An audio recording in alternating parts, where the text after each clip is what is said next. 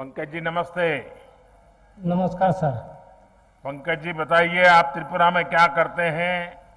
और आपको किस योजना से क्या लाभ मिला है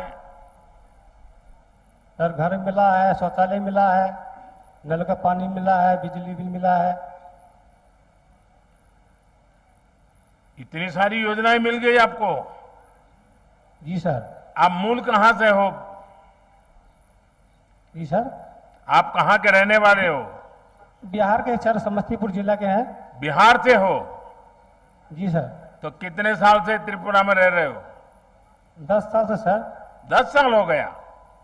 तो आपका राशन कार्ड वगैरह तो बिहार का होगा।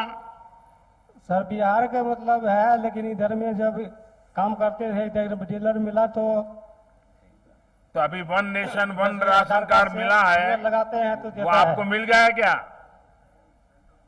जी sir.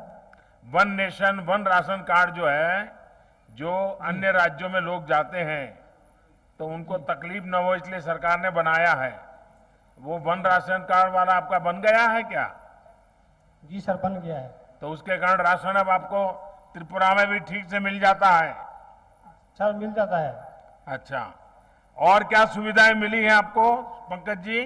सर हमको कोई चीज़ को दिक्कत नहीं हुआ। लॉकडाउन में भी हमको मेरा बीवी और बच्चे सब खुशी में है सर। अच्छा बिजली भी मिल गई। दिक्कत नहीं हुआ।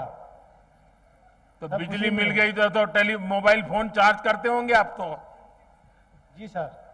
पहले मोबाइल फ़ोन चार्ज करने के लिए कहाँ जाते थे? पहले सर लाइट नहीं था तो कहाँ कहाँ जाएँगे? हाँ हमारे देश हमारा देश ऐसे ही तरक्की कर रहा है। चलिए पंकज जी मुझे बहुत अच्छा लगा और त्रिपुरा से आप बात कर रहे हैं। माता त्रिपुरा सुंदरी को हम और प्रणाम कर रहे हैं यहाँ से।